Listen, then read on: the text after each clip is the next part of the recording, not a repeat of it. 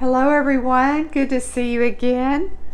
And happy 5783 once again, the beginning of this new Jewish year that we're having in this new month of Tishrei.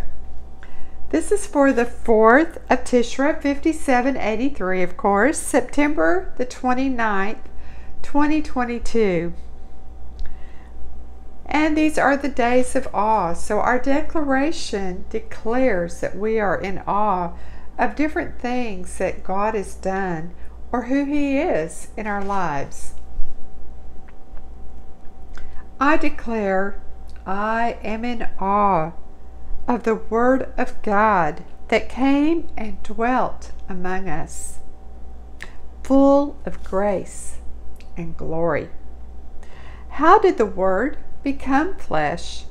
That same Word that created the heavens, the earth, the seas, and all that they contain.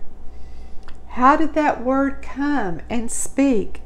Lazarus, come forth. And he did. And does that word, how does that word implant himself in my heart and change me from the inside out? Yes, I bow in humility and awe, O Word of God. Father God, I thank you for my friends that are watching this declaration today, and I pray that your awe would embrace them, would fall upon them, that they would be in awe of who you are, and especially in awe of your word today, the very living word of God Himself, who came in the flesh as a little baby. And we beheld his glory, glory of the only begotten Son of God, full of grace and truth. Flood our hearts today, Lord, with your awe. Let us be in reverence.